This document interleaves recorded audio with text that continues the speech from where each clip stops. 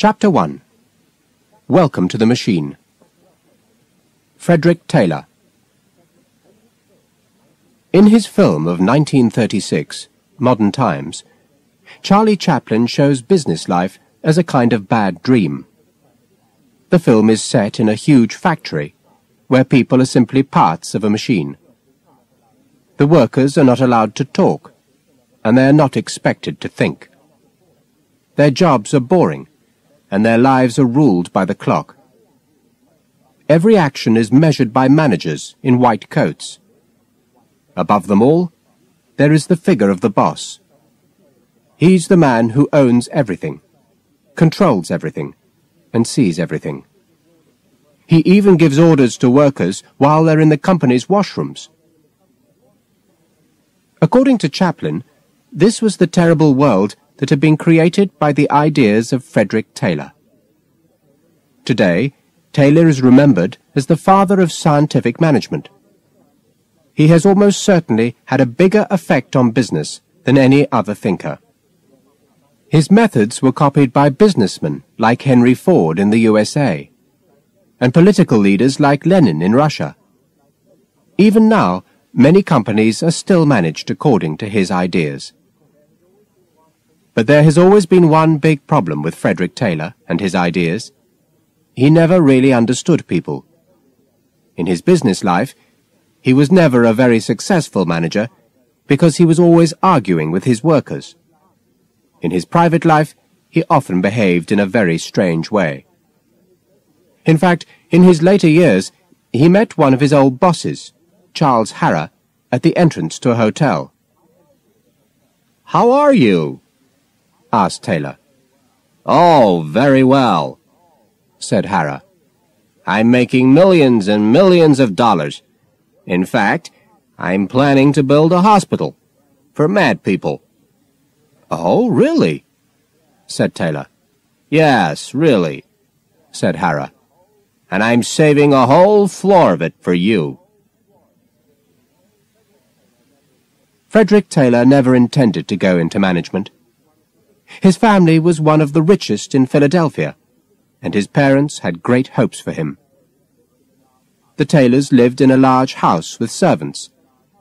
They took expensive holidays in Europe, and by the age of sixteen, young Fred had learnt both French and German. It seemed he was certain to live the life of a rich gentleman. At school, Fred was an excellent student and a fine sportsman who loved tennis when the USA's top university, Harvard, accepted him as a law student, it seemed that his future was decided. But Frederick Taylor had one big problem. He always tried too hard at everything. To pass Harvard's entrance examination, he had studied night and day, and had read too many books. Soon after Harvard accepted him, he found that he had a serious problem with his eyes. He was very worried, and said to his parents, If I have problems with my eyes now, what will they be like after several more years of hard study? His parents tried to make him feel better. They'll get better, Fred, they told him. You just need some rest. But rest was something that Taylor never wanted. He didn't wait for his eyes to improve. Instead, he changed the direction of his life completely. His parents were shocked when he told them about his plans. How can you do this? They asked him. After the education that you've had. But Taylor knew what he wanted. I've decided to take a job as an ordinary worker in one of our local factories. Taylor had always hated working with his hands, but for the next four years he learned to cut metal and to operate machines. His colleagues were rough men from the poor parts of Pittsburgh. They were surprised to find this young gentleman in their factory, and wondered why he was there. Taylor was clearly very different from them. He was a religious young man, and he didn't like the way they drank alcohol or smoked tobacco. But his colleagues were friendly to Taylor, and he was soon surprising other members of his family with the bad language that he had learned at his workplace. But Taylor was not a great success at the factory, and when his training was finished, his boss told him that there was no future for him there. At the age of 22, Taylor found that he was unemployed. What could he do? He didn't want to ask for help from his rich friends, and he didn't want to use his family money to make a new start. Instead, once again, he chose the most difficult direction. He took a job as an ordinary worker at another Pittsburgh factory, the Midvale Steelworks. Midvale was a group of five or six old buildings in the dirtiest part of the city. Thick black smoke poured from its chimneys into the sky. The workers were rougher than at his last job, and the bosses were tougher. But Taylor knew that he could succeed. His experience over the past few years had made him interested in machines. When Midvale's owner, William Sellers, asked some of the workers for their opinion of his plans for a new machine, Taylor saw a great opportunity. He took Sellers's plans home and studied them carefully. He immediately noticed a few problems, and over the next few days he worked late into the night to find some solutions to them. At the start of the next week, he knocked on William Sellers's door. What you want? Shouted Sellers when he saw the young worker. I want to talk to you about your plans for the new machine, said Taylor. I've found one or two problems, I'm afraid, sir. Oh, have you? said Sellers. Yes, sir, said Taylor. I hope you don't mind, but I've drawn some of my own ideas. I think they'll solve the problem. Give them to me, ordered Sellers. Nervously, Taylor gave him his papers. They were the product of several nights of long, hard work. Taylor, said Sellers, I believe that I asked you for your opinion of the new machine. Is that right? Yes, sir, said Taylor. And when I ask for your opinion, continued Sellers, I expect your opinion. I do not expect your ideas. Sellers turned away for a moment and threw Taylor's papers onto the fire in the corner of the room. Do you understand? asked Sellers. Yes, sir, said Taylor, as his ideas disappeared in smoke up the office chimney. The bosses at Midvale were certainly tough with Taylor, but they could also see that he was too intelligent to stay in the same job for long. After a few months, they asked him to become the manager of a small group of workers. Taylor was excited. He thought that the workers at Midvale were lazy, and he was sure that he could make them work harder. The workers were immediately worried by him. You don't expect us to work harder or produce more, do you? They asked. Of course I do, he replied. But don't worry, I've got a few ideas to help you we're going to start to work scientifically. For the next three years at Midvale, Taylor and his workers were at war. Taylor believed he could find the best possible way of doing every job in the factory. So he studied each worker's job until he had found a way of doing it more quickly. Then he taught the new way of working to one of the workers in his team. Taylor was a good teacher and the worker was soon working more quickly than before. Unfortunately, the other members of the team didn't like it. They felt that it made the rest of them look bad. Before long, Taylor found that every member of his team was working at the same slow speed as before. This made him very angry. You're here to work, he shouted at the men. If you work harder, the company will make more money. If the company makes more money, you'll make more money. When you work harder, it helps everyone. Don't you understand? But the workers didn't understand, and Taylor had to try tougher methods. Now, when he taught a worker a new way of working, he made it completely clear that the worker had to work more quickly. If he didn't work more quickly, Taylor sacked him. But of course, each time a worker was sacked, it made the situation even worse. and it wasn't long before the workers took more serious action. They started breaking the factory's machines. Taylor's bosses were frightened, and they asked him to solve the problem immediately. His solution was simple. Each time a machine was damaged, the workers had to pay for it. The damage to the machines soon stopped, but Taylor's methods didn't. On one occasion, he noticed a very small mark on one of the workers' machines. You'll pay for this, he said to the worker who operated it. But I didn't do it, said the worker. That mark has always been there. Don't give me excuses, said Taylor. You'll pay for it.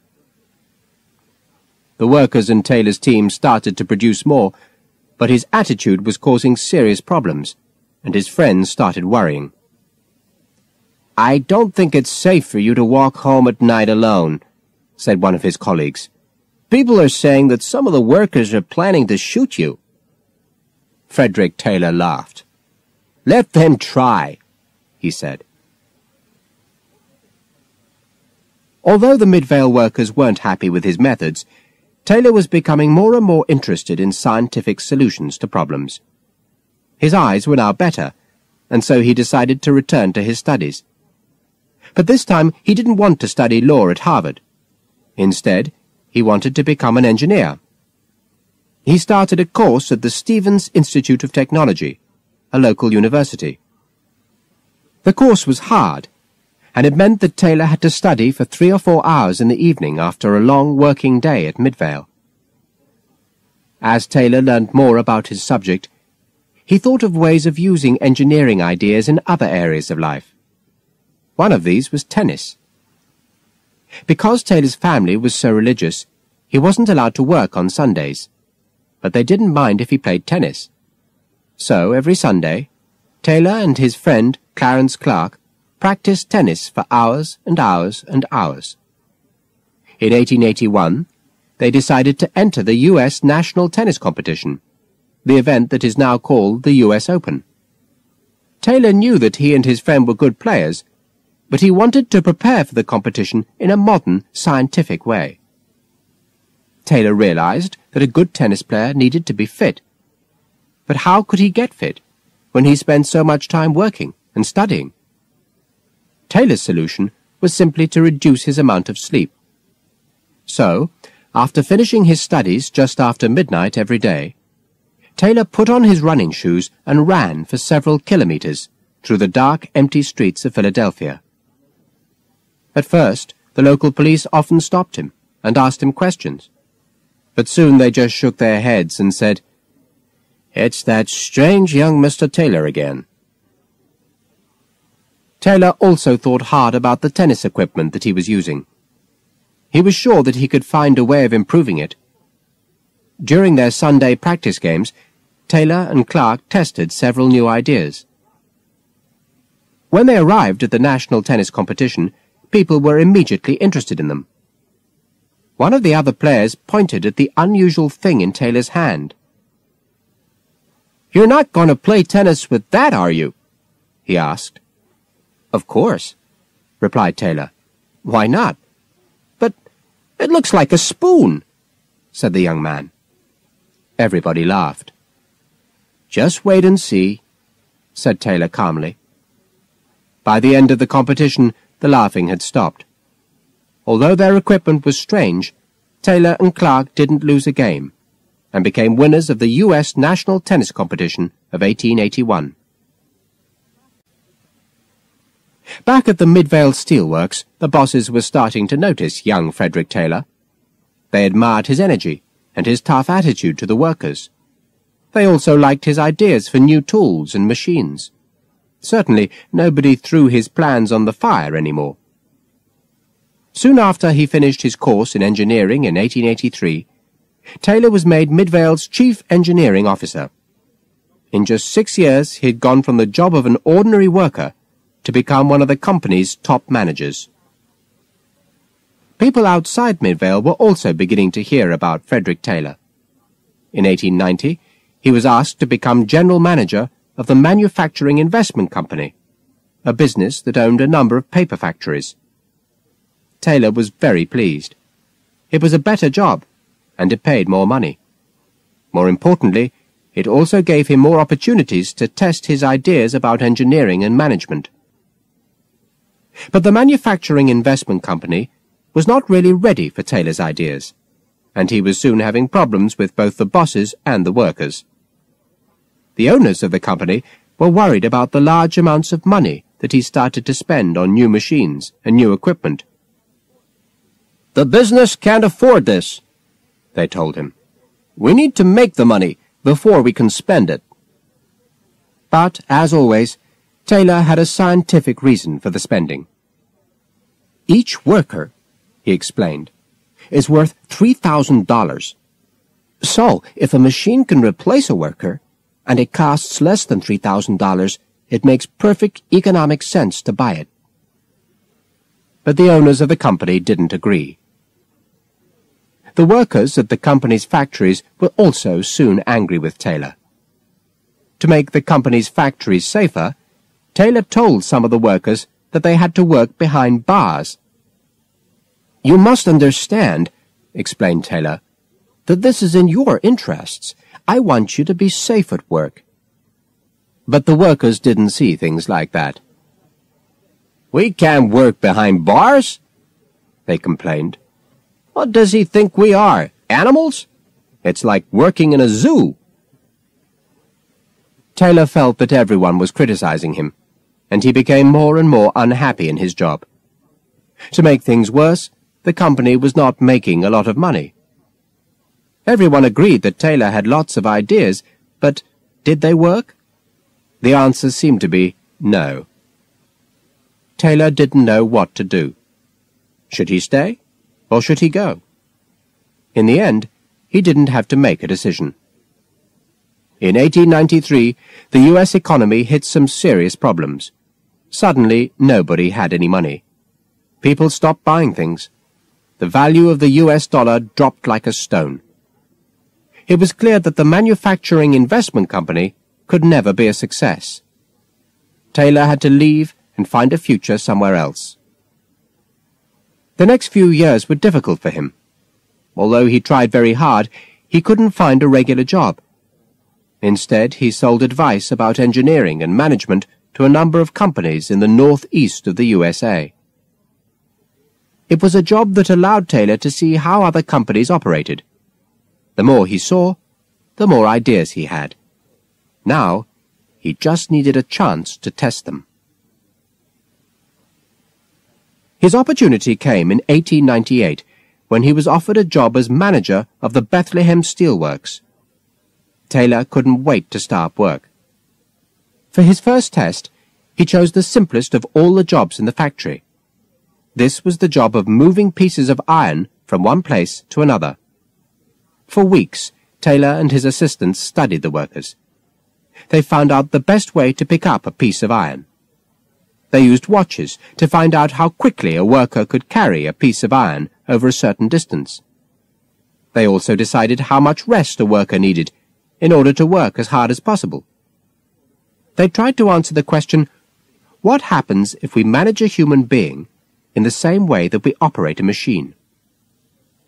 When their study was finished, Taylor sat down with his assistants and explained his findings.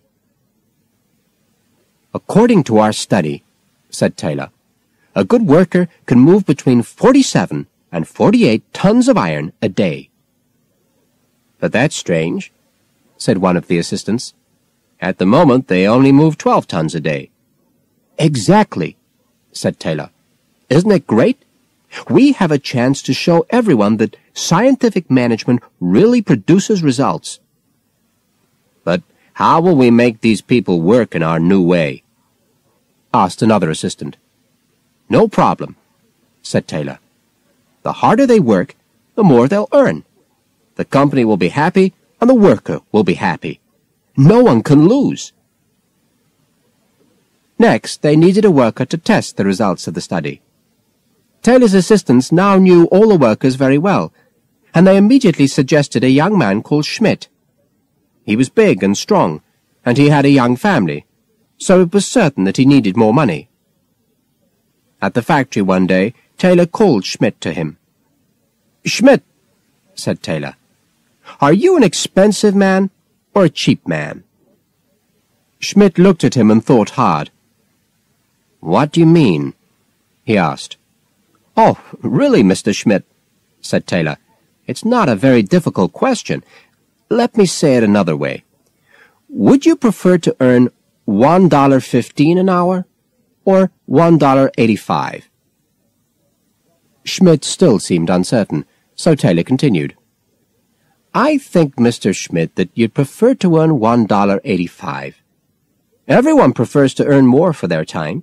It's a law of human nature. Maybe, agreed Schmidt. Excellent, said Taylor. Now, if you want to earn $1.85, you must do exactly as I tell you. When I tell you to pick up a piece of iron, you pick it up.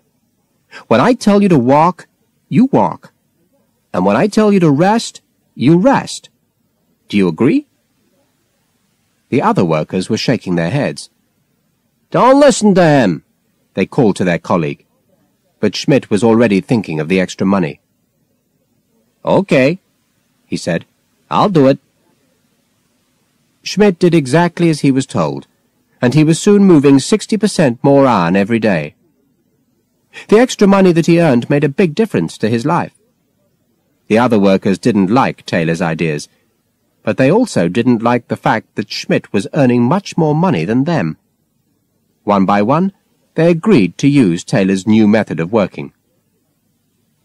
But many of the workers found that they couldn't earn as much as Schmidt, simply because they weren't as strong as him.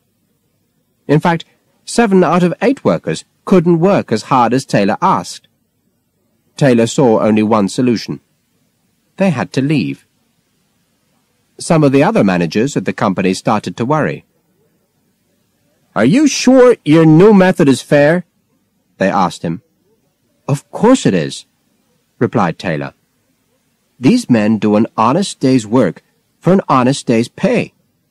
Of course, it's sad that some people have to leave, but one of the most important things about good management is finding the right man for the right job. Taylor soon started to organize the work of the rest of the factory in the same way. First, he watched the workers and measured the speed of every move they made. Then he decided on the quickest way of doing each job and taught that method to the workers. Finally, he chose the best workers for every job and told the others to find work somewhere else. Again, the results were excellent. But Taylor's attitude was making him more and more enemies at Bethlehem. The workers liked earning more money, but they hated Taylor's methods. The company's owners weren't sure of him, especially because he was again spending large amounts of money on new equipment. In May 1901, he was sacked. Although Taylor was only 45, it was the last manager's job that he had in his life. Taylor had had enough of business, but at least he had shown that his idea of scientific management could work. He went back to his house in the country and wrote pieces for magazines and newspapers that explained his ideas. He travelled round the country and gave talks to groups of businessmen and engineers. Slowly, more and more people became interested in the idea of scientific management. Then, in 1910, Taylor suddenly became famous. The U.S. government was having a meeting about the different costs of train and sea travel. The railway companies said they needed more money from taxes. The ship owners said that they didn't. To support their argument, the ship owners explained that the railway companies wouldn't need the money if they improved their management. To explain their point, they asked some managers to talk about a man called Frederick Taylor and a new idea called scientific management. If the railways introduce this idea, one manager told the U.S. government, they will save a million dollars a day. Another manager said that scientific management could cut costs and increase workers' pay by a hundred percent. The next day, Taylor's name and a description of his ideas were in all the newspapers. Everybody in the U.S. business world was talking about scientific management. In fact, the time was just right for Taylor's ideas. In the early 1900s, in Detroit, another engineer called Henry Ford had started a new business that made cars. At that time, cars were very expensive and were only owned by the richest people in the world. But Ford believed that it was possible to sell cars at a price that ordinary people could afford. He simply needed to reduce the cost of making them. To do this, he decided to make just one kind of car in just one color, the famous black Model T Ford. At his factory, he also started making Model Ts in a new way. His method was to move the car along a line while workers added pieces to it. The workers' jobs were very boring because they just did the same thing again and again and again, all day long. But Ford wasn't worried about that. For him, workers were just another part of the machine. He once said, When I want a pair of hands, why do I get a human being as well? The Ford Motor Company was very successful. Its factory in Detroit produced a new car every 40 seconds, and the price of a new Ford car soon fell below $300. As a result, millions of people bought Ford cars, and Henry Ford became the richest man in the world. Of course, everybody wanted to know the secrets of his success. When they heard about Frederick Taylor, many believed that he could give them the answers they wanted. The ideas of Ford and Taylor were very similar. Both Ford and Taylor believed that workers didn't want or need to have responsibility. Without their managers, workers were nothing. It was the manager's job to find the best workers and to teach them to work in the best possible way. It didn't matter if the workers were unhappy. They were paid an honest day's pay for an honest day's work, and it was their job simply to obey. These were the ideas that Taylor wrote about in his book of 1911, The Principles of Scientific Management. It was a huge success. When he gave a talk in New York City some time later, it was attended by 69,000 people. Managers who followed Taylor's ideas were famous for their watches. They all wanted people to work as quickly as possible, so they needed their watches to measure the workers' speed. Taylor, too, loved watches, and carried an expensive Swiss one with him wherever he went. In 1917, when he was taken into hospital because of an illness, the doctors and nurses soon noticed that Taylor always wound his watch at exactly the same time every day. Then, early one morning, a nurse heard a sound from Taylor's room at four o'clock in the morning. How strange, she thought. Mr. Taylor usually has such regular habits. Why is he winding his watch so early in the day? In fact, it was Taylor's last action. When the nurse looked into the room just an hour later, she found that Taylor was dead. In a way, it seemed right that this was the final action of the man who had made so many others servants of the clock. In the years after his death, the ideas of Frederick Taylor spread around the world. His books were translated into many different languages. Factories from California to Siberia were organized according to his methods. Machines came first, and people came second. Managers learned to control, and workers were taught to obey. The boss's word was law. But today, many people question Frederick Taylor's scientific management. Does it really produce the best results? Do managers always know best? Is it true that people only work for money? Is it true that they don't want responsibility? But although his ideas are often questioned, it's certain that there are many businesses in the world today that still haven't forgotten the lessons of Frederick Taylor. Chapter 2 The Company Man Alfred P. Sloan if it's good for America, it's good for General Motors. And if it's good for General Motors, it's good for America. Charles E. Wilson Is a company as important as a country? Are the interests of a business the same as the interests of a nation? Most people would answer no to both questions. But when you're talking about General Motors, you can't be so sure. Certainly, when the General Motors manager, Charles E. Wilson, said those words, at a meeting with the U.S. government in the early 1950s, nobody was surprised. At the time, General Motors was the biggest company in the world. It employed more than 750,000 people. It made some of the most famous products in the world. Cars with names like Chevrolet, Cadillac, and Buick.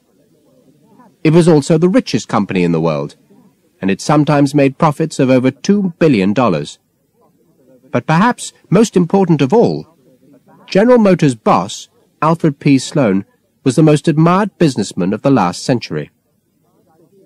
Sloan was admired because his ideas were copied by every other big business in the middle years of the 20th century.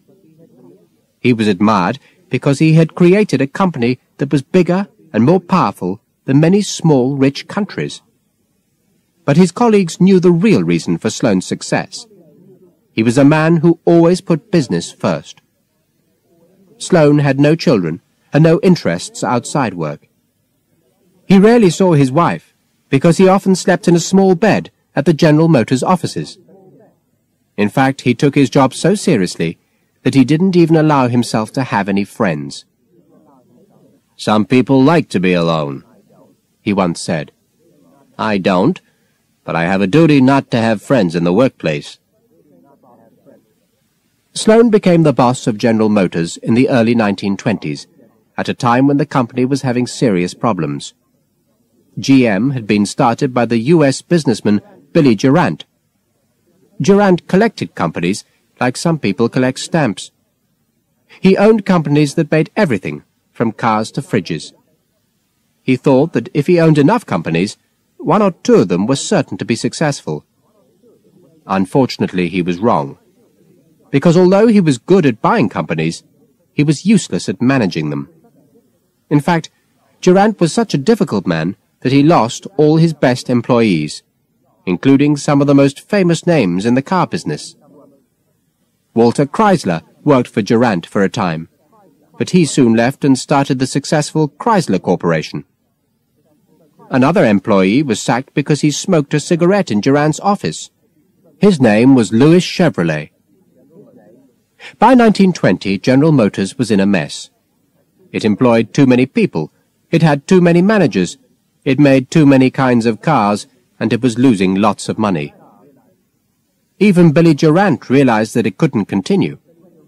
So he sold GM to one of the great names of early U.S. business, Pierre DuPont. DuPont could see that GM showed promise, but it needed a good manager. So DuPont turned to Alfred Sloan. At the time, Sloan was 43 years old, and he was already a great success. He had started 20 years before, when he borrowed $5,000 from his father and bought a company called Hyatt. Hyatt did not look like a very good business. It made small metal balls that were used in trains and other vehicles, and it was making no more than $2,000 a month.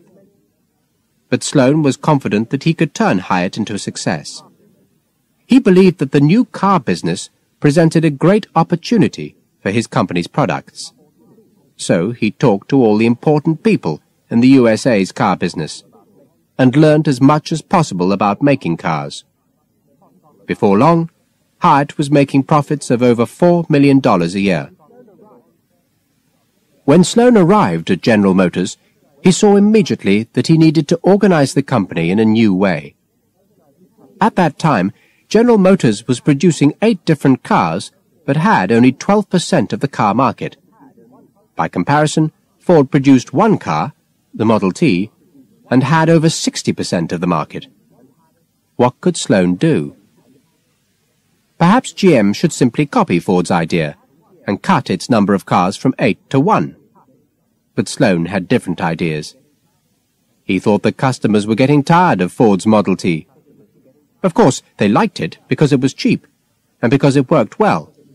But customers wanted more choice. Ford advertised its Model T by saying, You can have any color you want, but it has to be black. It was a good joke, but it was also true. Sloan realized that he could win customers if he offered something different. So he thought carefully about GM's position in the market and prepared his ideas. Although he was not an old man, Sloan was already suffering from hearing problems. For that reason, he always used a hearing aid in meetings. When he wanted to listen, he switched it on. Before he spoke, he always switched it off. It was once described as the greatest management tool in history. At the meeting to decide GM's future direction, he listened carefully to the ideas of his colleagues. We need to learn the lessons of Mr. Ford, said one manager. We must learn to produce our cars as quickly and as cheaply as possible. That's the only way to succeed in this business. I don't agree, said another manager. We have a choice. There are two main markets for cars in this country. We can sell expensive upmarket cars to people who have good taste and plenty of money, or we can sell cheap downmarket cars to people who have neither. Everyone in the room laughed. When Sloan had heard all the manager's ideas, he switched off his hearing aid with a loud noise. The managers all turned towards him and waited for him to speak. Thank you for your ideas, gentlemen, said Sloan. But I must disagree with you. Our company has more choices than you have described. I believe that General Motors should sell a car for every pocket and every purpose. The managers looked at each other. Let me explain what I mean, continued Sloan. We own a number of companies at the moment. The problem is that they are all fighting in the same market. First, I suggest that we reduce our number of companies to five. Second, I suggest that each of these companies sells its cars to a different part of the market. For example, Cadillac could sell its cars to the rich people with good taste that you talked about earlier. We could sell Buicks to younger people with a little less money. Oldsmobile could be sold to richer families, Pontiac to poorer ones. Chevrolet, perhaps, could sell its cars to the working man. Do you follow my thinking? One of the managers held up a finger to show that he wanted to ask a question. Sloan switched on his hearing aid again. How does this affect the organization of the company? The manager asked. There was another noise from the hearing aid. That, said Sloan, is a very good question. You see, gentlemen, I want an organization with five different companies selling cars to five different markets.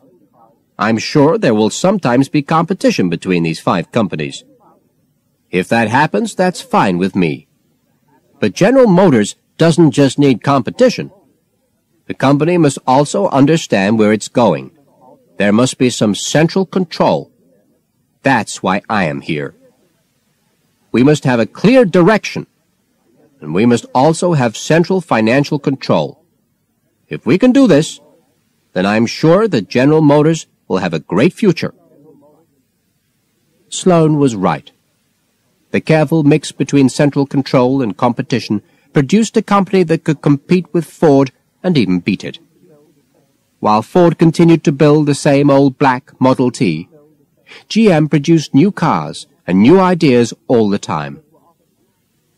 Customers were offered not just a choice of five different cars, but a choice of colors too.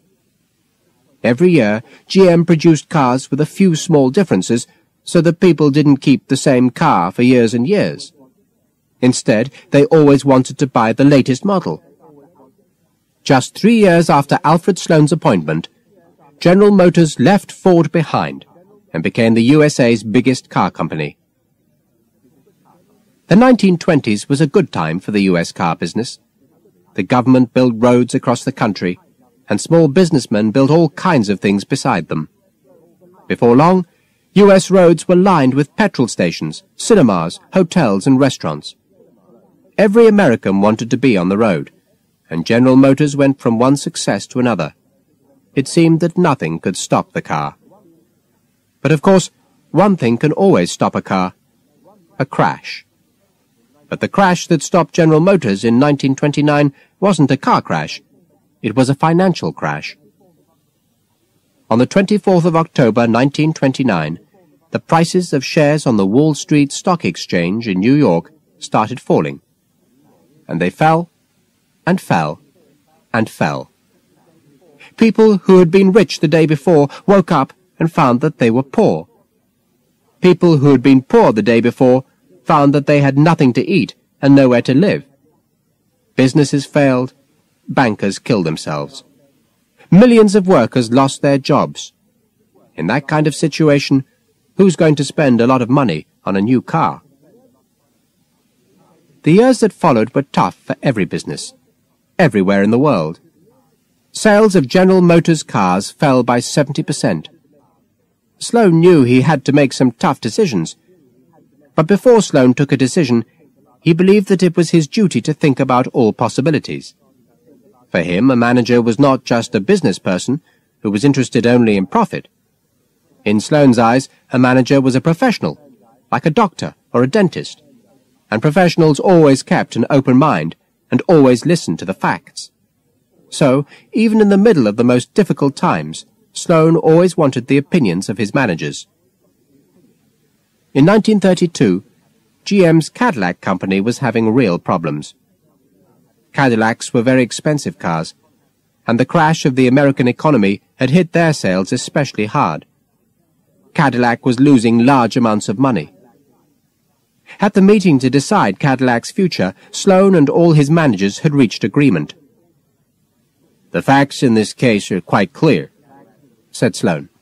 Cadillac must be closed. So now our only decision is do we keep the Cadillac name and put it on another car, or do we just forget about it? At that moment, there was a knock on the door, and one of Cadillac's young middle managers, Nick Dreystadt, walked into the room. Dreystadt was an untidy man who spoke with a strong German accent. Nervously, he looked around at Sloan and the other top GM managers. I'm sorry to interrupt, said Dreystadt. But I know that you are thinking of closing Cadillac. Before you take any decision, I'd like you to listen to my plan. With this plan, I'm sure that Cadillac will be back in profit within 18 months. Several of the top managers were very angry with Dreystadt. How did this middle manager dare to interrupt their meeting with his ideas? But Alfred Sloan stayed calm and polite. Please continue, Mr. Dreystadt, he said. Well, said Dreystadt, I have noticed that Cadillacs are the most popular car with rich black people. What do you mean? said one of the top managers. That's impossible. We don't sell Cadillacs to black people. It's against our rules. I know, said Dreystadt, but rich black people are paying white people to buy Cadillacs for them. I don't understand, said the manager. Why are they doing this? Well, continued Dreystadt, as we all know, it's difficult for black people to do many things in the USA. Rich black people are not allowed to buy expensive houses in the areas where rich white people live. But, of course, if you're a successful black doctor, or a black businessman, or a black sportsman, you still want to show people that you're rich and successful. A Cadillac is one of the few ways that these people can do this. Very interesting, Mr. Dreystadt, said Alfred Sloan. So what exactly are you suggesting? I want us to change our ideas about Cadillac. We shouldn't stop black people from buying them. Instead, they should be our main market. Alfred Sloan and the other top managers discussed Dreystadt's idea for a few minutes, and then Alfred Sloan switched off his hearing aid and looked at Dreystadt. Okay, Mr. Dreystadt, said Sloan. We'd like to go ahead with your idea. We won't close Cadillac. Not yet, at least. Dreystadt thanked Sloan. He was just leaving the room when one of GM's top managers spoke to him. You realize that if you fail, there won't be a job for you at GM, don't you? Of course I do, replied Dreystadt. But I don't, interrupted Alfred Sloan quickly. If you fail, Mr. Dreystadt, there won't be a job for you at Cadillac. There won't be a Cadillac. But as long as there is a General Motors, and as long as I run it, there will always be a job for a man who takes responsibility. There will always be a job for a man who has the right attitude and imagination. Alfred Sloan looked calmly at Dreystadt. Mr. Dreystadt, you worry about the future of Cadillac. I'll worry about your future at General Motors. Dreystadt and Sloan didn't need to worry. Thanks to Dreystadt's plan, Cadillac stopped losing money within a year, and it was soon making a healthy profit. It was often difficult for Sloan to mix central control and competition. GM expected its managers to be company men. At that time, it didn't have women managers. Managers were all expected to wear dark suits and light shirts. Their offices on the 14th floor of the main General Motors building were all decorated in the same way. They were expected to have similar values and similar attitudes. This sometimes made it difficult for GM's managers to have a discussion. Before Sloan took a decision, he always wanted to hear opinions from all parts of his huge company. But on one occasion, a manager presented such an excellent plan at a meeting that everyone immediately agreed with it. This didn't please Sloan at all. He switched off his hearing aid and looked round the room. So, gentlemen, he said, we're all in complete agreement, are we? The managers at the meeting all smiled. In that case, Sloan continued, I suggest that we delay our decision on this plan.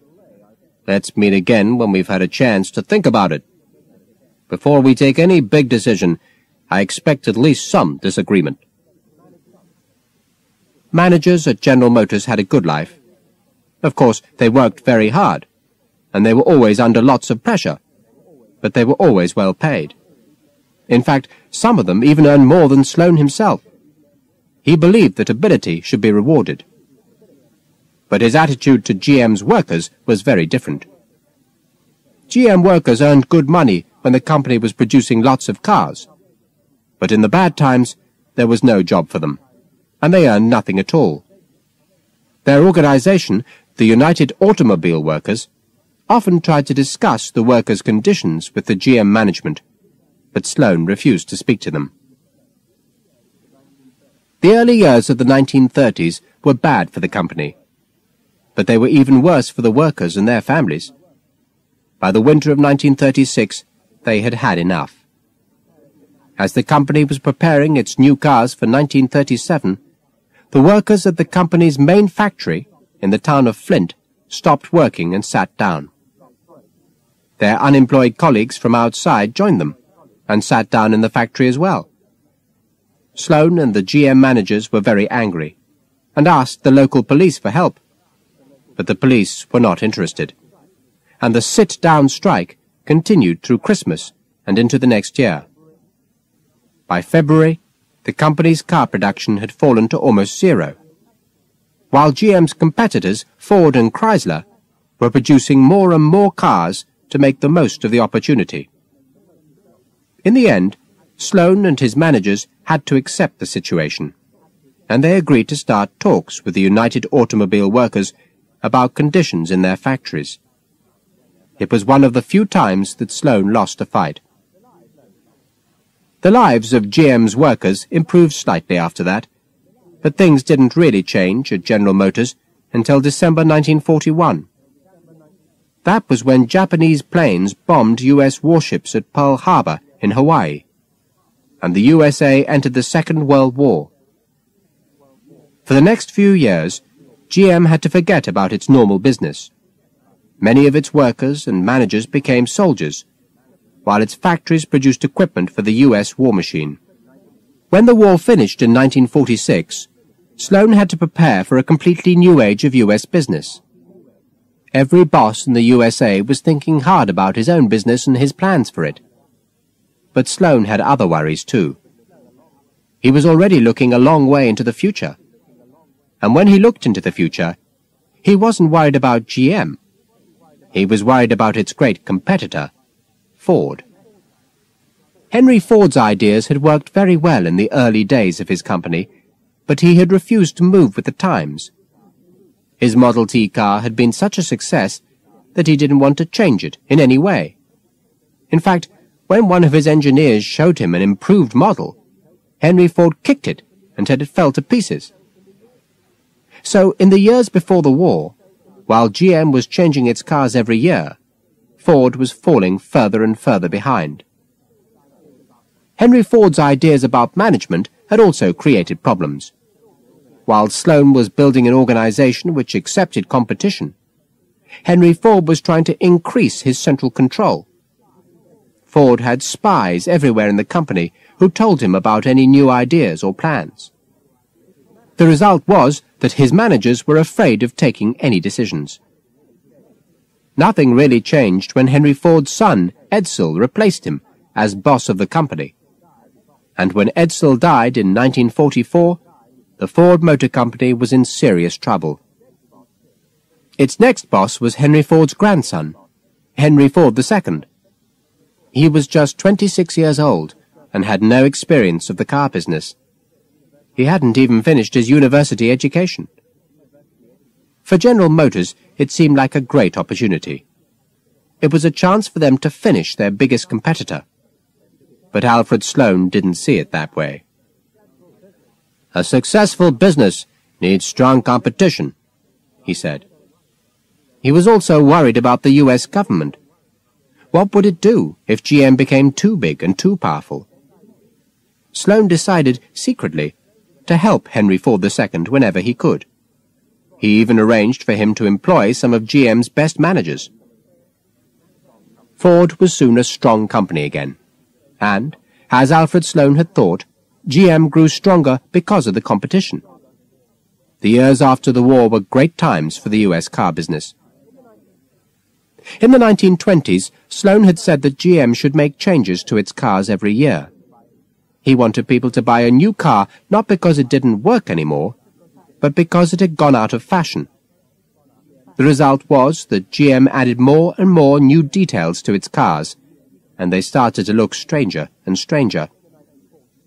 In the 1940s and 1950s, the person responsible for the look of GM's cars was a man called Harley Earl. He had started his working life in Los Angeles, where he created cars for Hollywood films.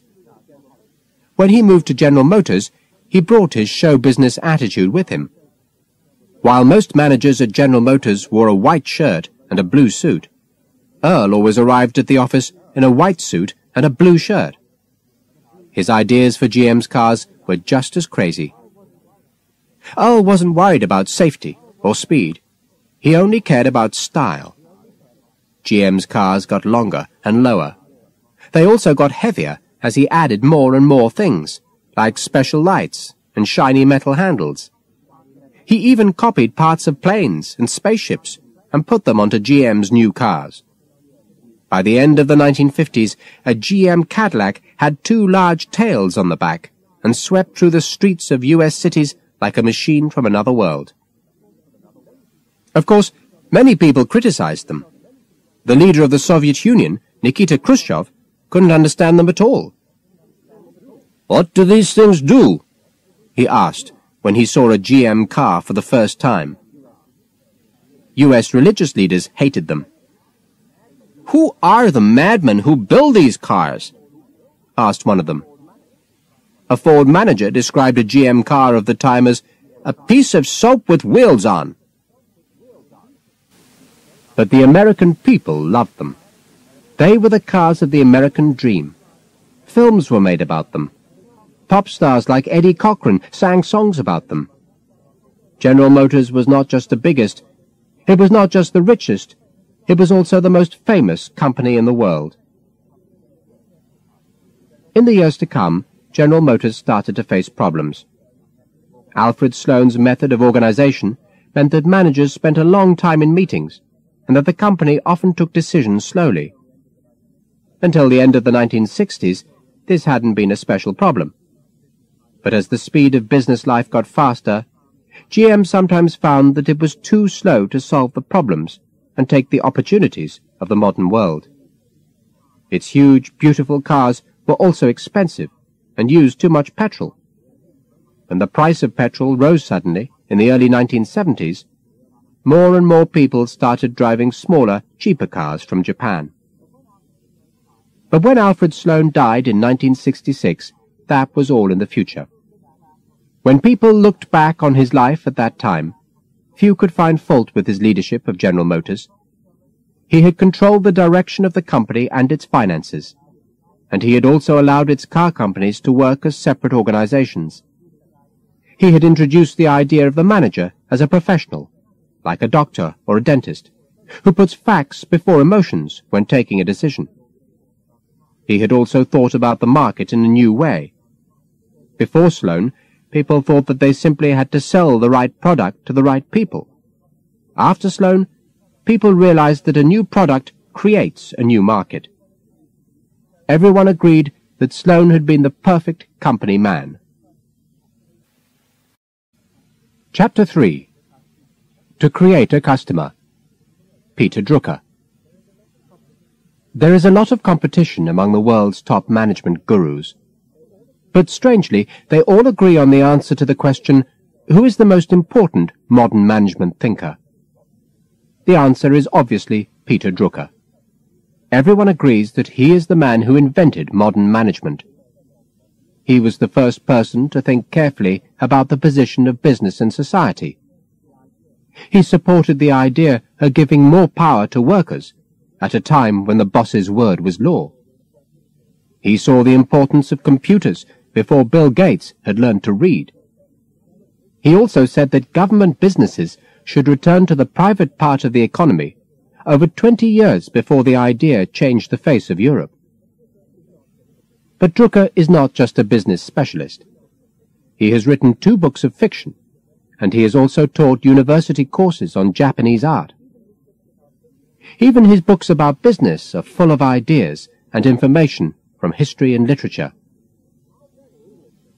How many Englishmen were gentlemen in the nineteenth century? He asks in one of his books. Not many is his answer. He often gives examples from the works of Jane Austen and Charles Dickens to explain his ideas about company life. The truth is that Drucker is not a normal management writer. He has no real experience of business because he has spent most of his life in universities and although he has worked in the USA for over half a century, he is not really an American. Perhaps that's why he's always been a little bit different. Drucker was born in 1909 and grew up in Vienna, Austria. When he was a teenager in the 1920s, Vienna was a city that lived in the past. Just a few years before, it had been the capital of an area that stretched from the Alps to the edge of Russia. More than 50 million people lived there. Vienna's wonderful palaces had welcomed the world's richest and most powerful leaders. Its cafes had been full of great artists and writers. Its concert halls and theatres produced some of the greatest music and plays in all of Europe. But the First World War changed all that. At the end of the war, Austria found that it had lost its power, most of its land, and nearly all of its people. By the early 1920s, Austria was a small country of just 6.5 million people, with no real place on the world stage. Certainly, Austria had changed, but its people hadn't forgotten its traditions, especially its tradition of great work in art and science. Peter Drucker's family was typical. His grandmother was a musician who had played for Gustav Mahler. His father had been a friend of Sigmund Freud, Drucker grew up in a home where people spoke three languages. They discussed science, books, and mathematics in the way that many modern families talk about TV and sport today. It was soon clear that the young Peter Drucker was very clever. He got excellent results at school, and at the age of 17 he decided to leave Austria and find a new life. He moved to Hamburg in the north of Germany. His father wanted him to become a full-time student at Hamburg University, but the idea was too boring for Drucker. Students live in a dream that is two parts beer and one part sex, he said. He wanted to find out about real life. So he worked in an office job during the day and studied law in the university library in the evenings. His father was worried. He thought that his son was wasting his life, but Drucker soon proved him wrong. At the age of twenty, he was already publishing his writing in important magazines. His first report was about the world economy. It was very well written and very cleverly argued. Sadly, it was also very wrong. The world economy looks good, he wrote. The New York Stock Exchange will almost certainly go up. The report appeared in September 1929. Just one month later, the New York Stock Exchange crashed. It was the worst financial disaster of the 20th century. Drucker said that after that experience, he never tried to make guesses about the financial future again. The crash of the New York Stock Exchange had a terrible effect on all the economies of the world. And one of the places that suffered most was Germany. German businesses failed. The value of German money fell. And millions of ordinary Germans lost their jobs. Some German families had to sell everything they owned, so that they could still afford to eat. Drucker was shocked by the problems that he saw. But he was even more shocked by the events that followed. It seemed that Germany's politicians could do nothing to help their people. Many ordinary Germans lost hope in their government and looked for other solutions to their problems. One person who said that he had the answer was Adolf Hitler. Support for Hitler grew as Germany's problems got worse. In 1932, Hitler and his Nazi party came to power. In the early 1930s, Drucker had moved to Frankfurt and had taken a job as a journalist for a newspaper. He was in an excellent position to see the changes in German life, and he was frightened by what he saw. But what should he do? Should he stay and fight the Nazis, or should he leave the country and find a new life somewhere else? It was soon clear that he had no choice. Drucker was working on a book about a writer and thinker called Julius Stahl, he knew that Stahl's ideas were very different from the ideas of people in the Nazi Party. When the book was published, he was very worried. In fact, he was right to be worried. The Nazis hated the book so much that they burnt it. Drucker realized that he had to leave the country. In 1933, Drucker moved to London. There he worked for banks or other financial organizations during the day and continued to write in the evenings. But the news from Germany got worse and worse, and he became more and more worried about the political situation in Europe.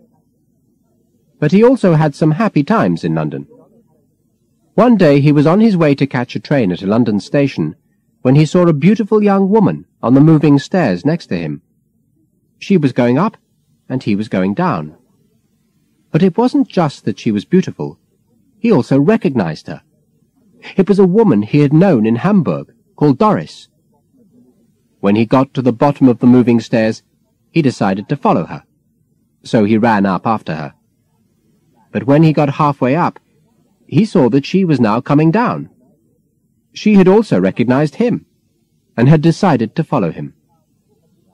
When they at last caught each other, they talked excitedly about the old times in Germany, and arranged to see each other again. A few years later, Drucker and Doris were married. It was a partnership that lasted for the rest of the century. While he was in London, Drucker thought very hard about the events in Germany. Why had the Nazis come to power? He asked himself. He decided that it was the result of changes in the societies and the economies of European countries.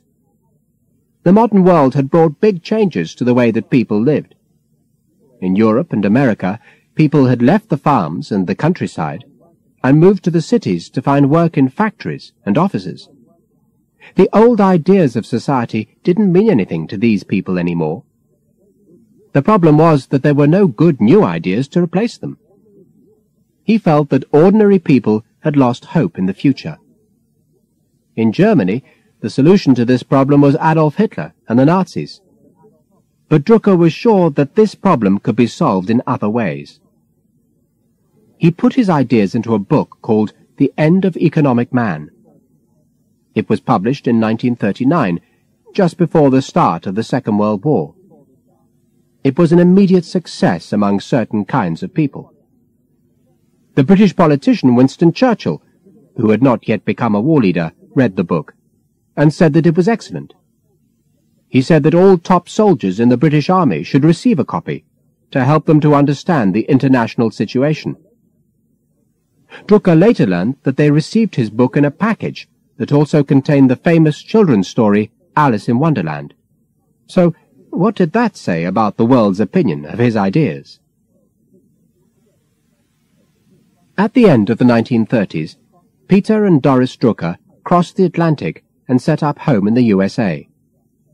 Drucker soon found a job as a teacher at Bennington College in Vermont.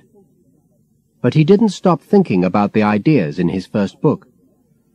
He decided that many of the problems of the modern world were problems that had been created by business. Business had lots of power in modern society, but it did not always use this power responsibly. He thought that companies needed to think more carefully about their purpose and about their duty to look after their workers. But if business had caused the problems, then business could also solve them. In his next book, The Future of Economic Man, he said that the future of society was all about the future of organizations. Drucker wanted to find out more about big business organizations. But as the world was at war, he knew he had to wait. Every big company in the USA was working as hard as possible to produce equipment for the army. Drucker realized that managers had no time to talk to a university teacher like him. Then, one day in 1943, he was sitting in his office at Bennington College when he received a phone call. Hello, Mr. Drucker, said the voice. I'm calling from General Motors. Would like to talk to you about something. Can you come for a meeting? Two days later, Drucker visited General Motors' offices. There he met one of the top managers, Donaldson Brown. We've read your books, Brown told him, and people at GM are interested in your ideas. We're mostly technical and financial people here, but we're asking the same questions as you. What is the place of big business in society? How should a big organization be run? That sort of thing. Drucker couldn't believe his ears. Well, obviously I'm very happy to hear that, he said, but how can I help you?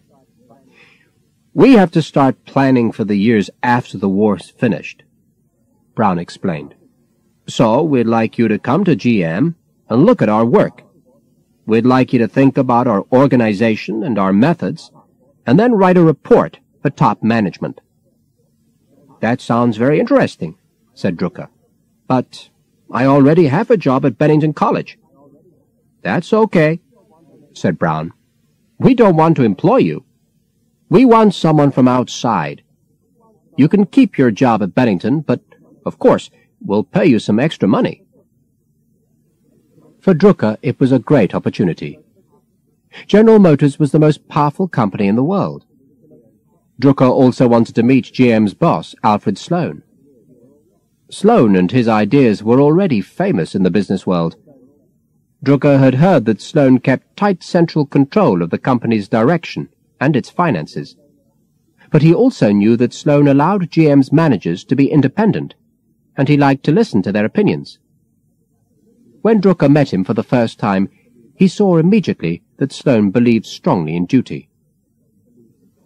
Mr. Drucker, said Sloan, you have probably heard that I didn't want you to study General Motors. I saw no reason for your work.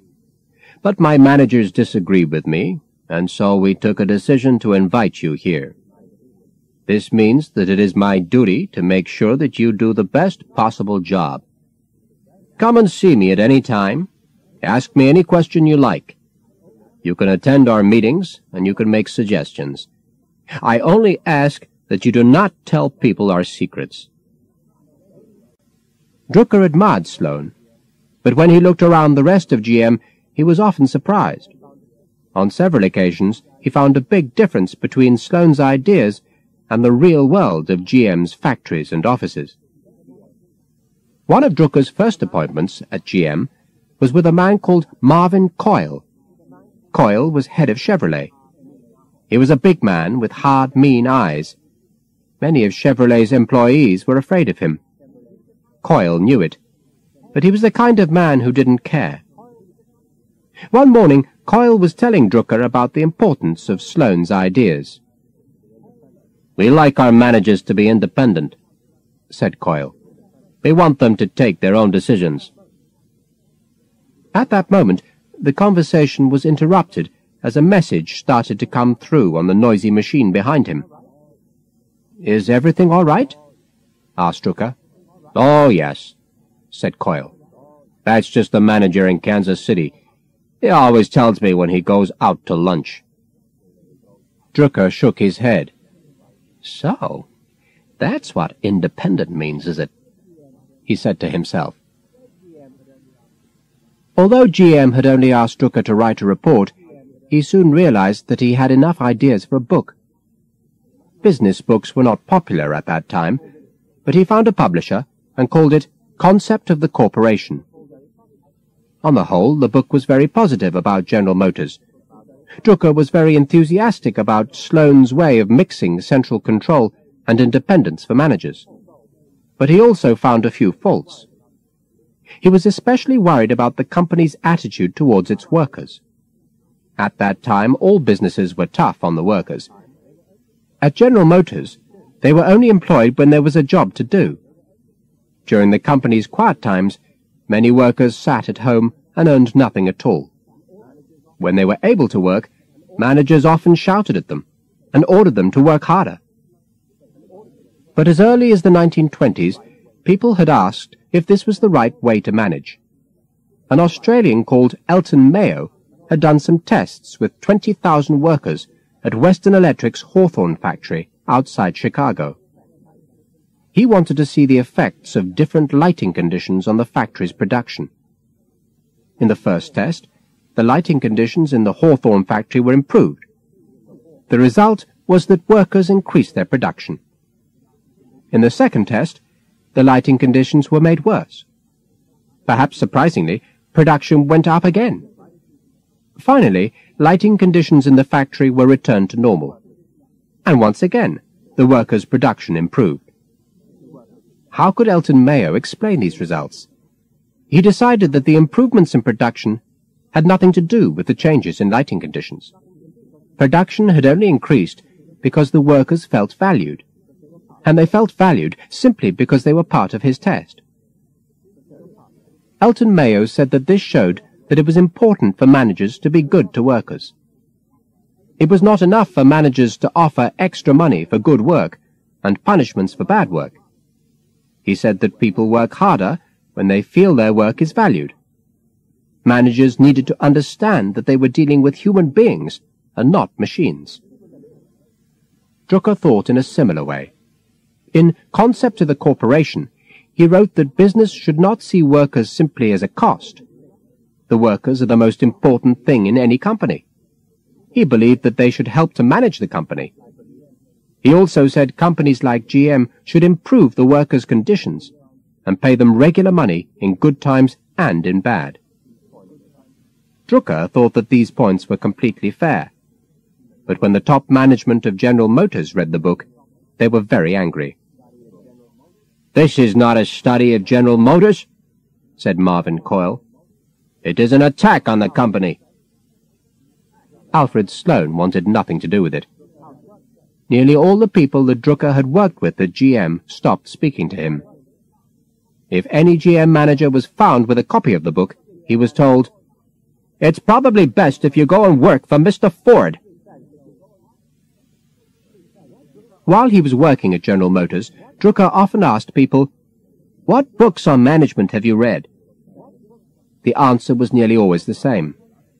There aren't any books on management, are there? Then one day, one of the GM managers suggested that he should visit a man called Harry Hopf. I'm told he's got the biggest collection of business books in the world, he said.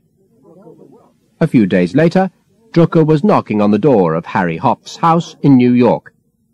An old man answered the door. So, young man, said Hopf, I understand that you are interested in management. Hopf led him into a huge library that contained thousands and thousands of books. Drucker looked around him. Are all these books about management? he asked. Hopf laughed. No, young man, he said. These are mostly about selling, advertising, and production. I have, I believe, only six books about management in the whole library. In fact, when Drucker looked at Hopf's six management books more closely, he found that three of them weren't really about management at all. It was clear that if Drucker wanted to read any more books on management, he would have to write them himself. In the years immediately after the Second World War, Drucker thought deeply about business and the job of a manager. In 1954, he published a book called The Practice of Management. According to some people, it was the book that invented management. In the book, he asked some important questions. Probably the most important one was, what is a business? At that time, most people's answer was, an organization that tries to make a profit. But Drucker disagreed. For him, business wasn't just about money. He said that a business should always be a part of society. He said that business should always act responsibly. For him, the purpose of business is to create a customer. A business should always make something that people want to buy. It might be a completely new product, or it might be something that people have always wanted. But businesses should never try to trick people, and business people should never be greedy. The purpose of business was to serve society. If business people got rich as a result, that was their fair reward. And what about managers? What exactly was their job in Drucker's idea of business? To explain, Drucker told a simple story. One day, he said, there were three workers who were all cutting some large pieces of stone a stranger went up to them and asked, What are you men doing? The first man looked up from his work and said, I am earning some money. The second replied, I'm doing the best job of stone cutting in the country. But the third man stopped and said, I am building a beautiful and enormous church. The third man, Drucker explained, was the true manager. For Drucker, management wasn't just about the everyday running of a business. For him, a manager was someone who could see into the future. A manager was someone who could bring together people's skills and energies to produce something that was exciting and new. In the old world, the most important creative person had been the artist. In the modern world of organizations, according to Drucker, it was the manager. But in practice, how could a manager do this? Drucker's answer was Management by Objectives, MBO. He said that a manager's job was not just to accept orders from above. A manager should always understand where he or she wants to go. A company should set an objective for a manager, and then reward that person when they succeeded. Over the next 20 years, MBO was accepted by almost every big company in the world. Since the 1950s, Drucker's ideas have become more and more important.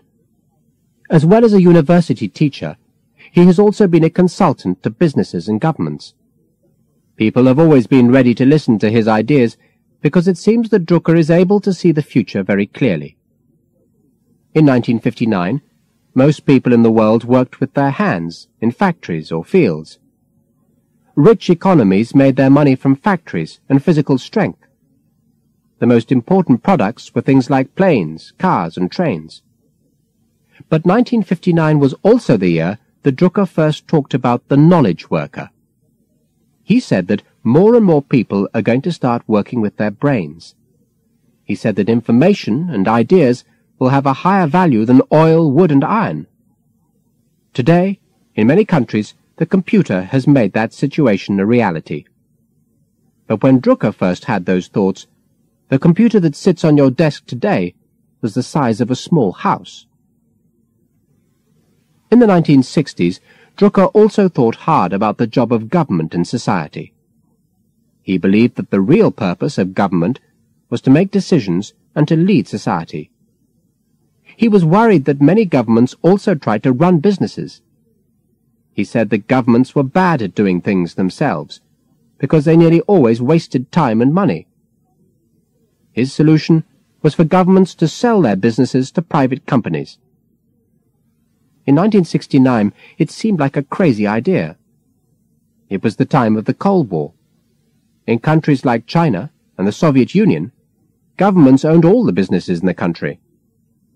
Even in places like Western Europe and the USA, governments owned many of their country's factories and services.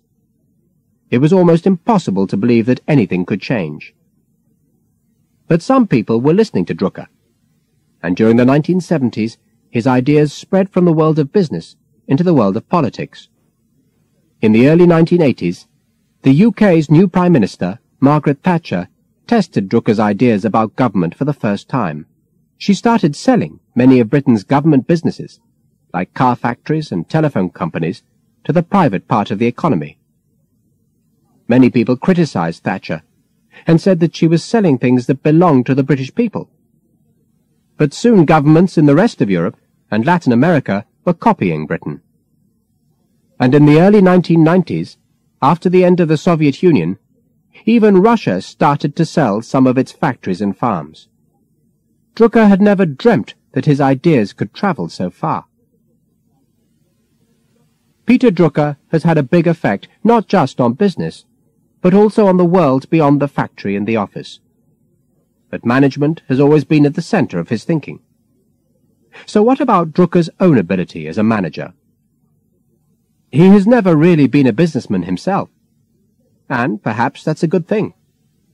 With complete honesty, Drucker once said, I would be a very poor manager, hopeless, and a company job would be very, very boring.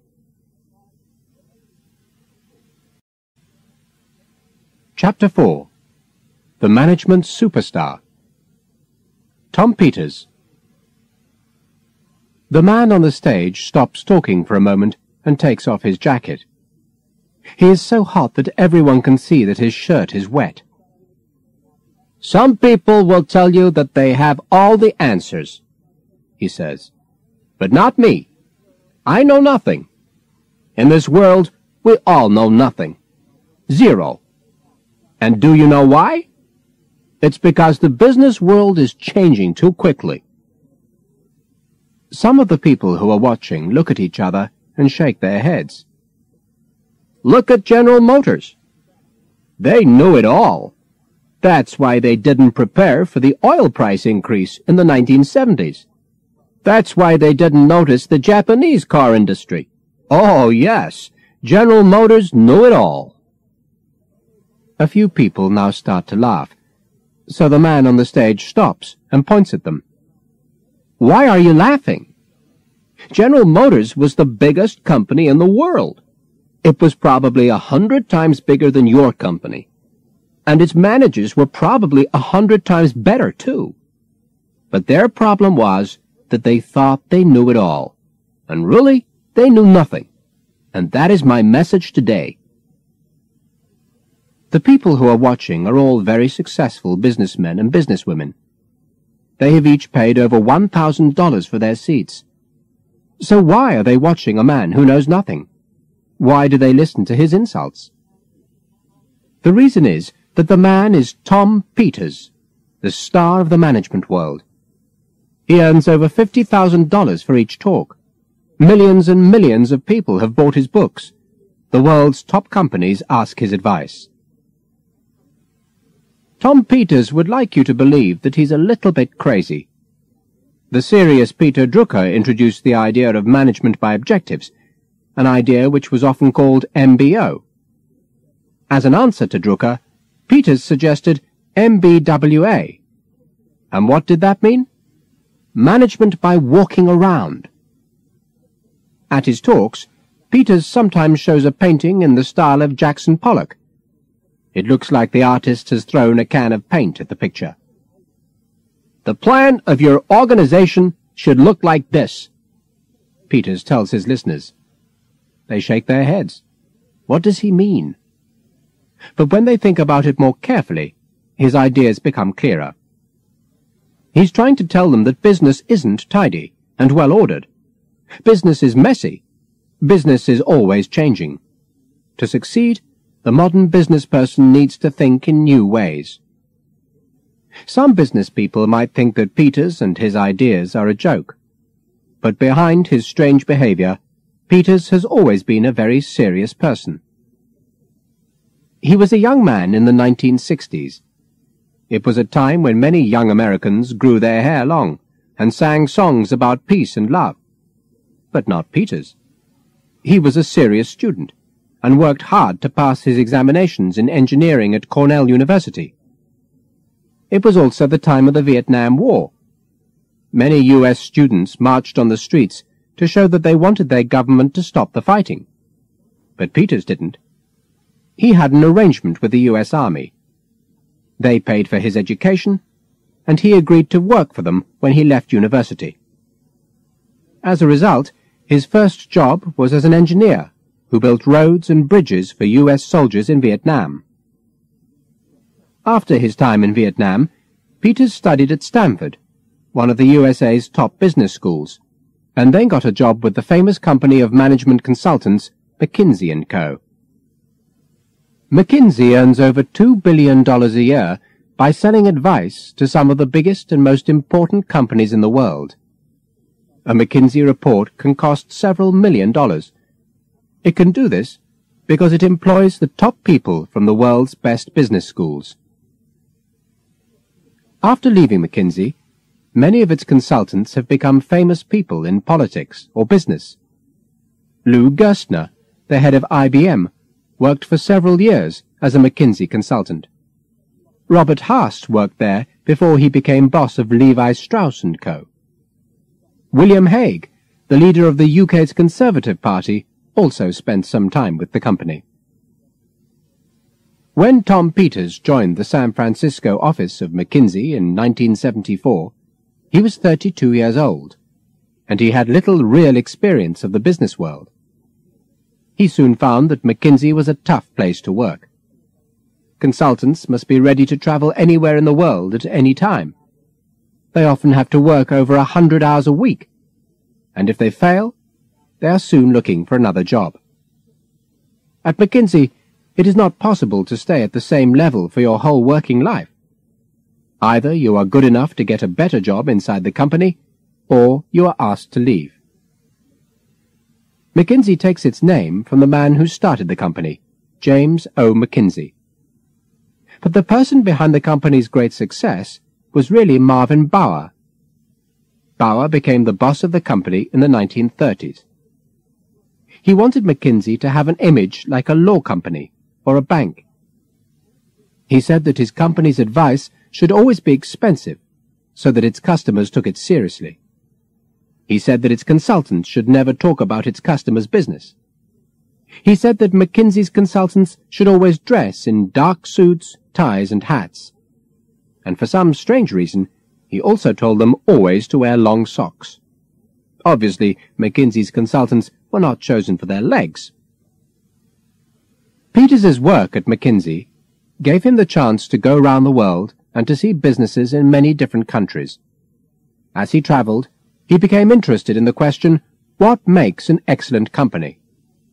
More and more people wanted to hear his answer, and soon McKinsey was asking him to give talks about his ideas to some of its biggest customers.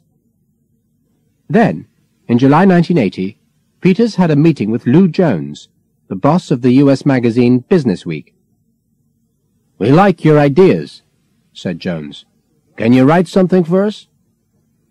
A week later, the front cover of Business Week said, Putting Excellence into Management.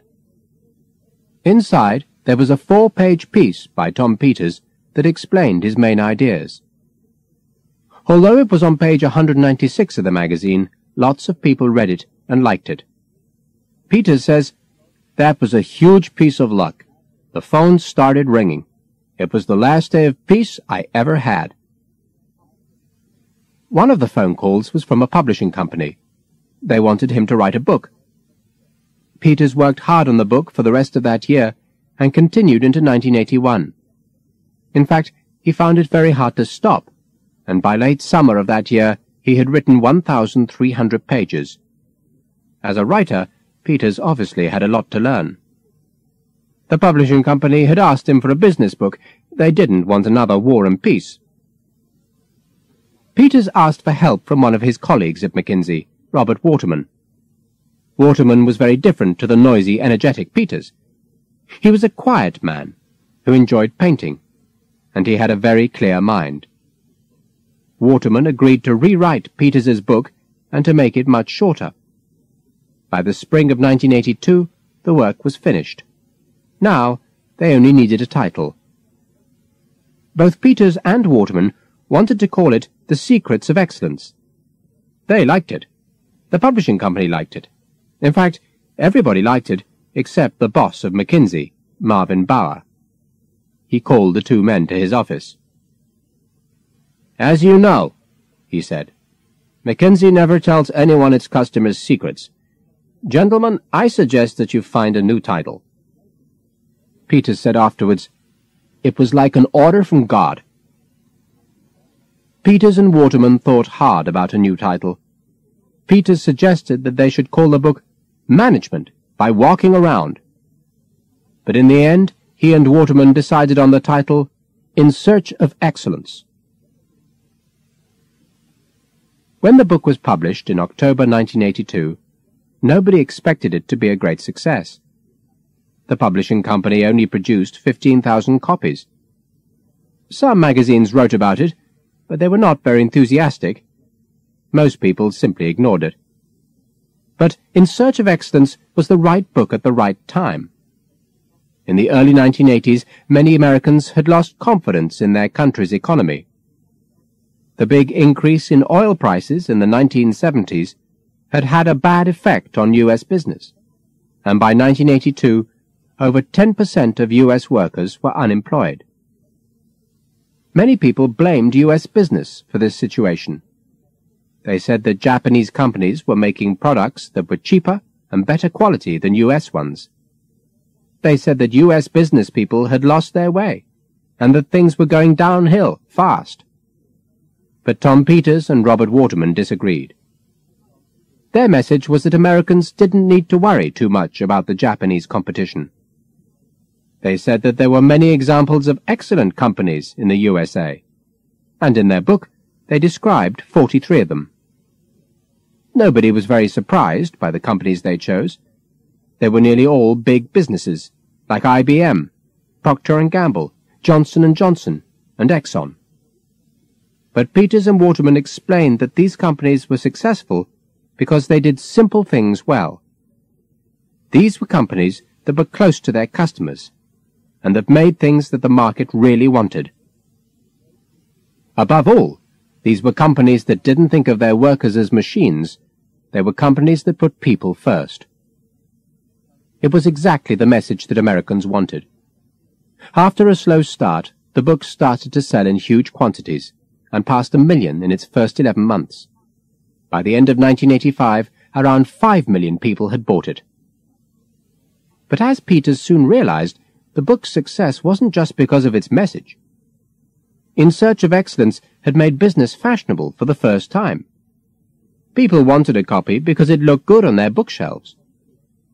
Tom Peters guessed that although five million people had bought the book, only half of those people had opened it.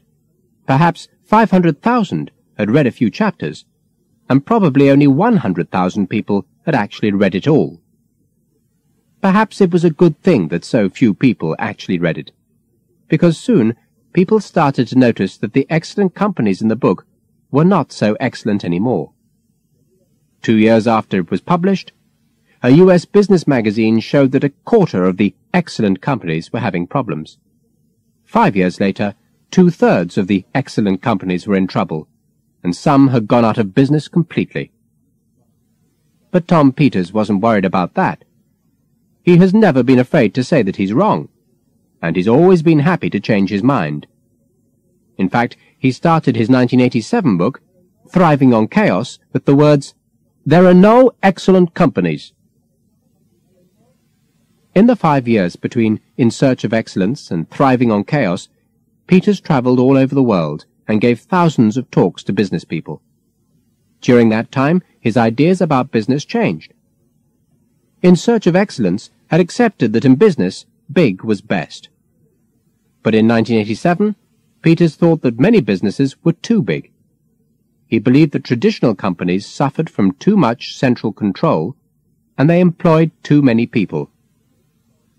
In the past, the bosses of big companies had communicated with workers through middle managers. The job of a middle manager, said Peters, was really just to collect and control information. But that was now a job that could be done by a computer. Computers could allow ordinary workers to make more of their own decisions. If you were a middle manager in a large company, Peters was saying to you, it's time to find something else to do with your life. Once again, Peters found that his book was published at exactly the right time. The day it arrived in bookshops was the 19th of October, 1987. In the financial world, that day will always be remembered as Black Monday. On that day, billions and billions of dollars were lost as stock exchanges around the world fell by huge amounts. The message from the stock exchanges was clear. The world is a dangerous place. Peters's message in Thriving on Chaos was clear too. This book will help you to deal with the problem. Events in the years after 1987 showed that many of Peters's ideas in Thriving on Chaos were quite right the speed of change in the business world increased greatly. Big business hit big problems. Computers became more and more important. And thousands of middle managers lost their jobs as businesses tried to become smaller. In the 1990s, Tom Peters' ideas changed again. He said that managers needed to prepare for the changes of the modern world in new ways.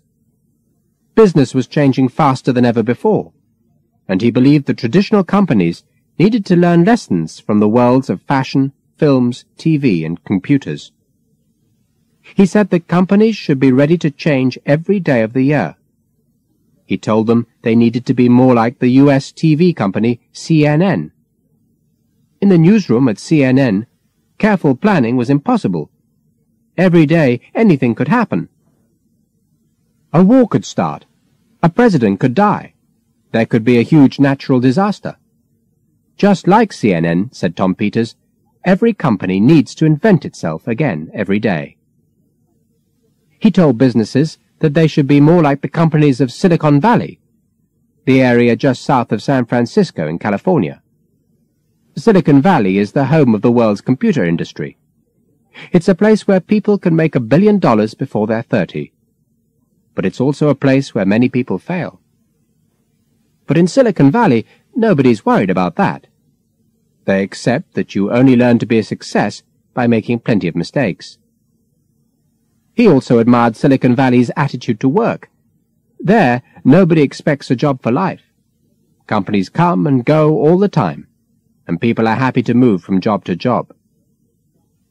They say that if you decide to change your job on the way to work in the morning, you just drive your car into a different company's car park. So, in the future, will that be the situation for everybody, in every industry? Tom Peters would confidently answer, yes. Tom Peters is a hard man to describe. He's probably the world's most famous management guru, and yet he says, I attack managers for a living. He is a serious writer and thinker, but he has appeared on one of his book covers without his trousers on. He gives talks to some of the richest and most powerful bosses in the world and tells them, Workers in the United States and England have been used like dog food for the past 150 years. So how do you really get to the heart of his ideas? As always, Tom Peters says it best himself. Crazy times call for crazy people. For Taylor, management was certainly not about crazy people, or company Olympics, or upside-down thinking. But although management gurus have produced all sorts of very different ideas, in the end, how useful are they for real businessmen and businesswomen? Many people have criticized the management gurus. Many have said that their ideas are a waste of time. But before anyone forgets their ideas completely, perhaps they should remember the story of some Hungarian soldiers who were lost in the Alps. The Hungarian soldiers had got lost on a freezing night and had almost no food. Their situation was very serious, and they didn't know what to do. Then one of the soldiers reached into his pocket and took out a map. The soldiers studied the map for a long time and discussed the best route. After a long and difficult walk, they were able to come down from the mountains, and they found a village with some food and a roof for the night. The interesting thing about the story is that the soldiers' map was a map of a completely different area of the Alps. It had given them no useful information at all but that map had been enough to make them think and to make them talk about their problem. And that's what saved their lives. Chapter 5 The Best of the Rest Rosabeth Moss Kanter and Charles Handy Since the success of Tom Peters, many new management thinkers have tried to become gurus. There are gurus who compare business with sport. There are gurus who say that business should learn the lessons of religion. And, of course, there are gurus who simply state the obvious.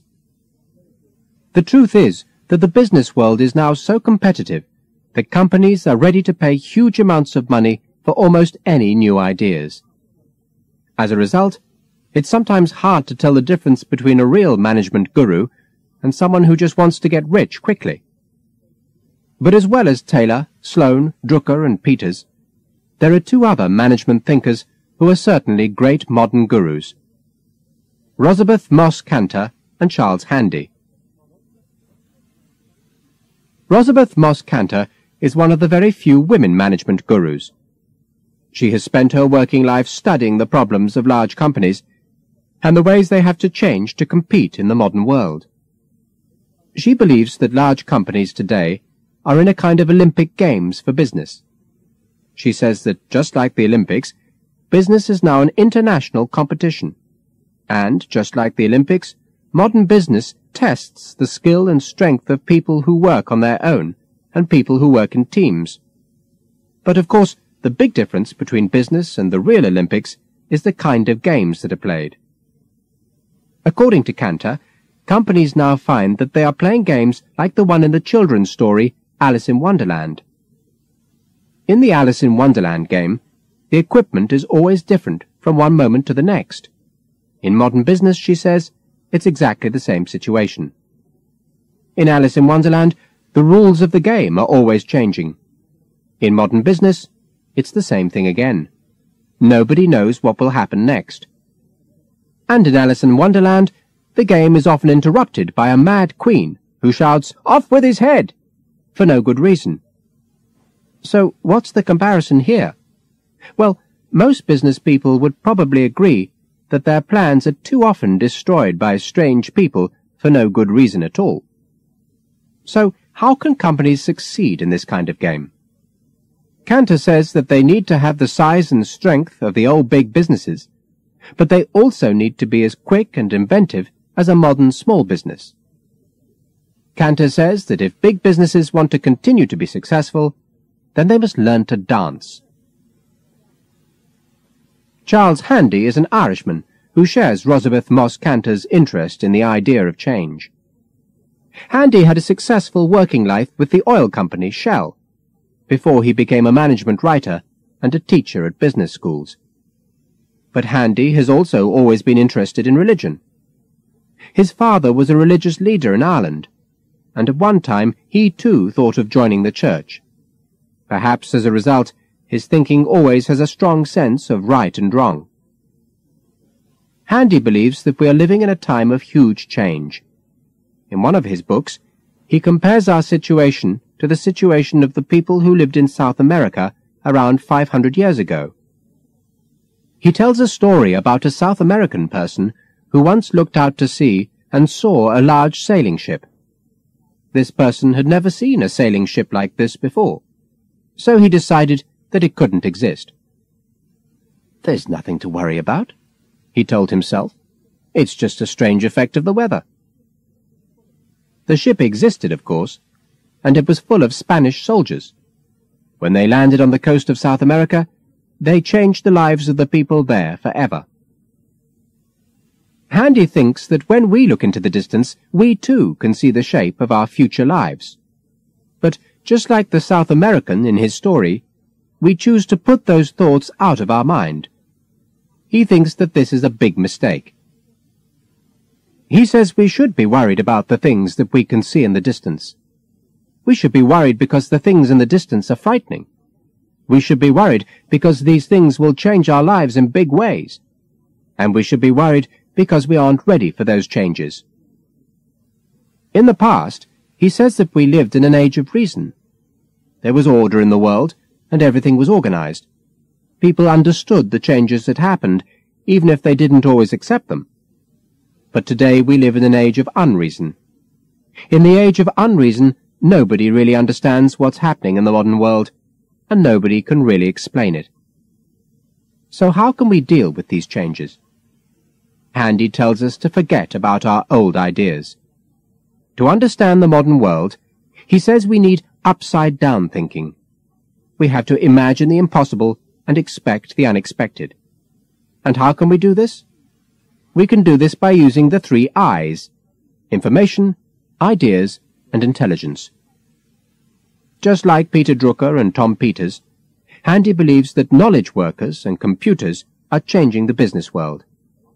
He says that in future, company life and office life will start to disappear. More and more people will become independent and will work for themselves. They'll work from home and use the telephone and the computer to communicate with other people. This should be good news for companies, because they won't need to have so many expensive office buildings in the middle of cities, and they won't need to pay so many people regular money. But how does this affect ordinary workers? Charles Handy hopes that their lives will improve.